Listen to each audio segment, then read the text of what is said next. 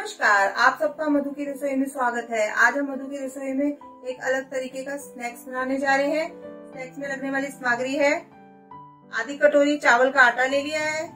दो प्याज पतली स्लाइस किए हुए। एक कटोरी बारीक कटी हरी धनिया पत्ता। आधा छोटा चम्मच लाल मिर्च पाउडर। एक चम्मच कॉर्नफ्लावर आधा छोटा चम्मच चाट मसाला। तो हरी मिर्च बारीक कटी हुई। आधा चम्मच जीरा पाउडर, आधा चम्मच काली मिर्च पाउडर, आधा चम्मच हल्दी पाउडर और आधा छोटा चम्मच हींग। चुटकी भर मीठा सोडा, नमक स्वाद अनुसार और आधा चम्मच अजवाइन। बनाना शुरू करेंगे तो उसके लिए खाली बर्तन लेंगे। प्याज डाल देना है।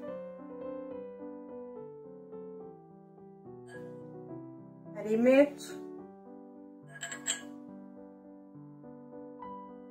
हल्दी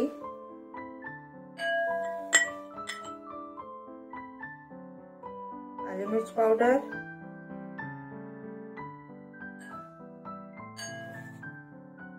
जीरा पाउडर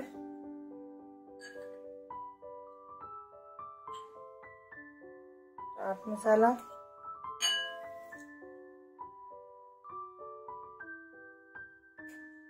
मीठा सोडा।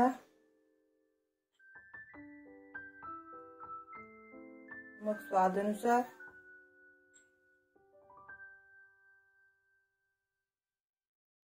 लाल मिर्च पाउडर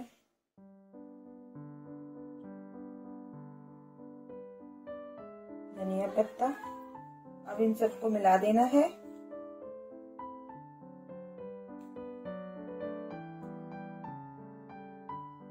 भी डाल देंगे।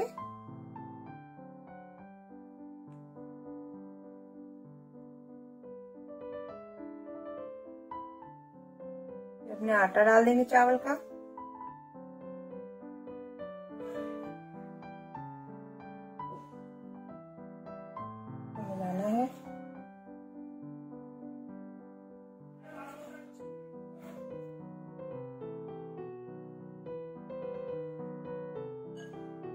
अजवाइन डालेंगे। अजवाइन को हथेली में मसलना है।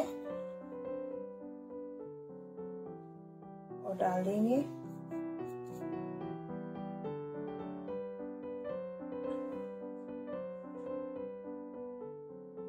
कॉर्नफ्लावर भी डाल देंगे।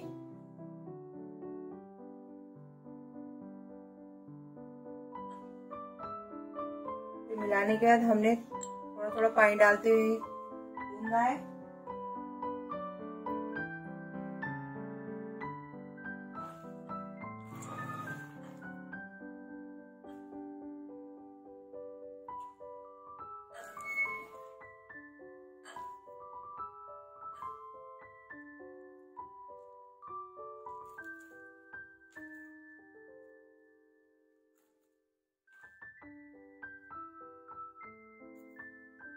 इसका हमने एक सॉफ्ट डो बनाना है, यानी नरम गूंदना है। ये देखिए। अब हम बनाना शुरू करेंगे। इसको हमने सरसों के तेल में बनाना है। उसके लिए हमने गैस ऑन के सरसों का तेल गर्म करने रख देंगे। सरसों का तेल अच्छे से पक चुका है, यानी गर्म हो चुका है। आज को हमने मध्यम रखना है। अब बनाना शुरू करेंगे। उसके लिए हमने थोड़ी सी छोटी सी लोई लेनी है।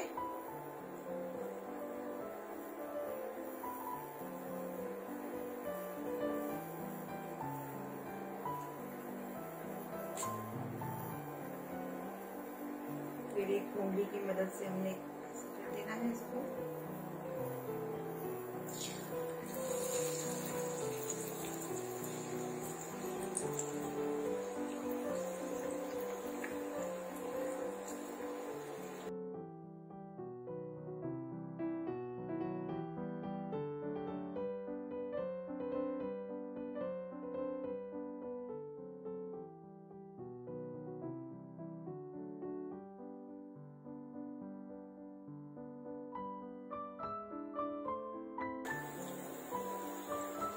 पलट देना है।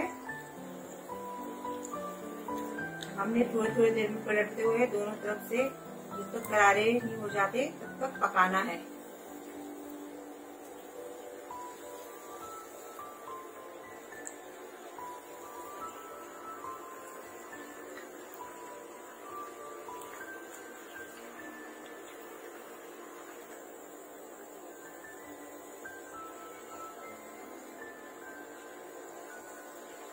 ये देखिए, दोनों तरफ़ से ब्राउन भी हो चुका है और अच्छे से करारा भी हो गया है। इसको हमें निकाल लेना है।